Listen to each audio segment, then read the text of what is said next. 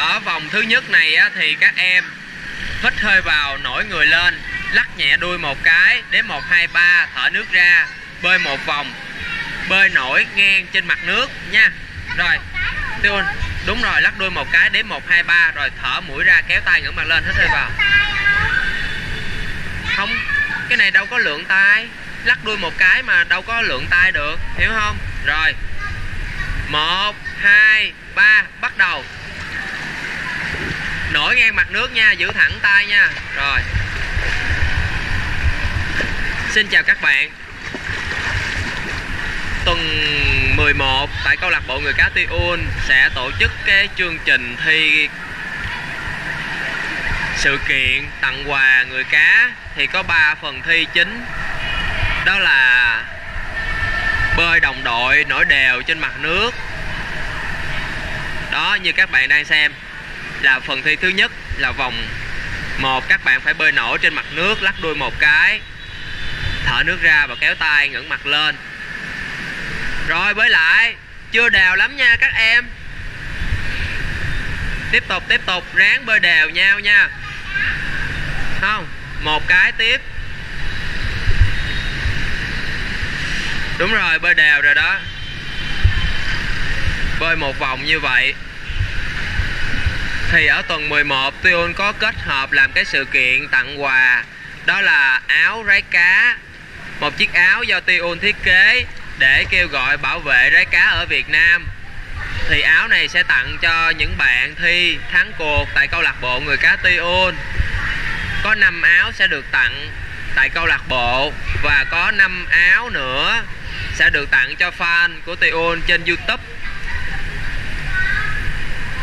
kết hợp vào đó là Tuyên có thêm cái chương trình quay phim chuyên nghiệp kể từ tuần 11 sẽ có máy bay à, quay flycam ở bên trên để à, xem mấy em thi. À, rồi tiếp theo ở vòng 2 á là ba em. Lắc đuôi ba cái nhưng mà lặn chuối tay xuống nước. Lặn xuống xong rồi lắc đuôi ba cái ở dưới nước rồi nâng tay lên thở nước ra kéo tay ngửa mặt lên hít hơi vào. Vòng hai. Đúng rồi nâng mặt nâng tay lên rồi kéo tay ếch ngưỡng mặt lên hít hơi vào ha. Lặn nha phần này lặn nha mấy em. Một hai ba. Đúng rồi bơi đều luôn song song nhau luôn. Đúng rồi lặn xuống. Một hai ba. Rồi nổi mặt lên. Ráng nổi mặt cùng nhau luôn nha các em. Thì những em mà không có điều kiện đến tập cùng với Tiun và các bạn người cá khác á, thì ở nhà tự tập nha để ờ, cái thứ bảy này chúng ta quay phim rất là chuyên nghiệp để cho thế giới họ coi nữa. Nên ờ, đó là một cái chương trình quảng cáo nhỏ về các kỹ thuật bơi của các em. Rồi với lại nó cũng là cái trong cái phần thi mà sự kiện câu lạc bộ người cá à, thường tổ chức vào thứ bảy thì có ba nội dung chính ở tuần này thôi. Bạn nào mà bơi đều bơi đồng đội tốt thì đều có quà à, quà tặng là áo kêu gọi bảo vệ môi trường với lại uh, trang sức dành cho người cá nữa. Đó có hai phần quà. Xong chưa? Mấy em đều mấy em cố gắng đều với nhau nha. Tiếp tục nha. Lặn xuống. Hít hơi vào là chuối tay xuống là lặn xuống luôn. Rồi giữ thẳng tay ngang mặt nước. Cái tay em này cái tay em này không thẳng. Lượng ở dưới nước. Khi mà lặn xuống á thì mấy em là phải lượng tay ở dưới nước như vậy. Lượng theo cái nhịp đuôi 3 lần. Thì mấy bạn này để hồi tôi nhắc lại là chưa có lượng nhớ lượng tay dưới nước. Đó vòng 2 là sẽ như vậy. Rồi um, tiếp theo nữa là sẽ đến vòng 3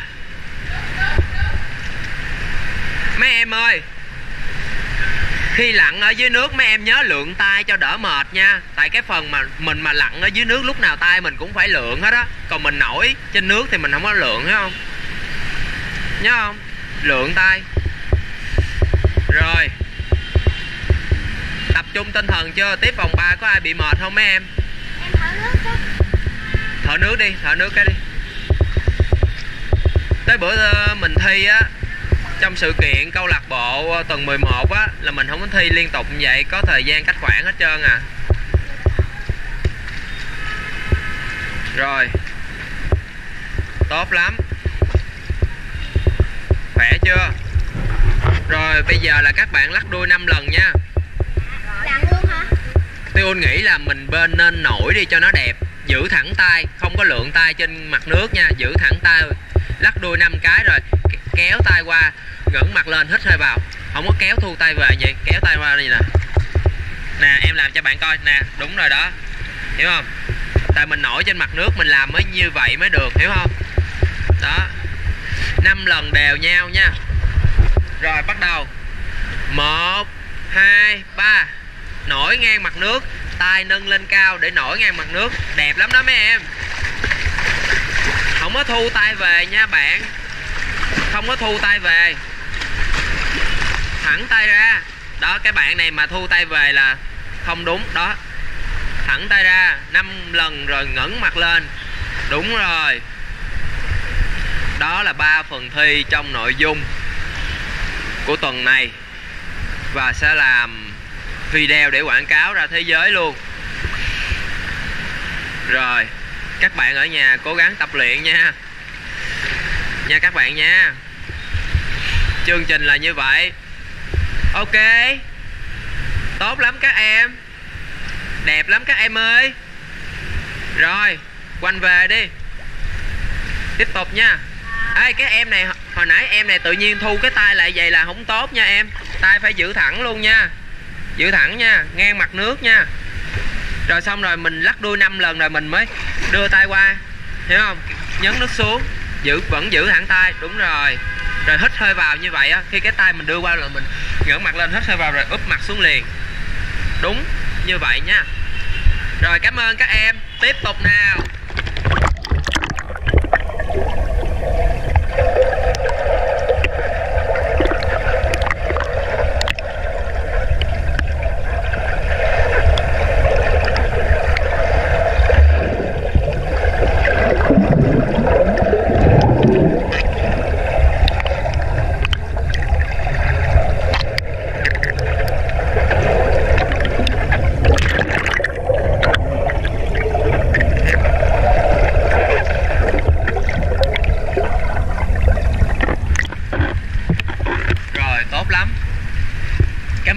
Rất nhiều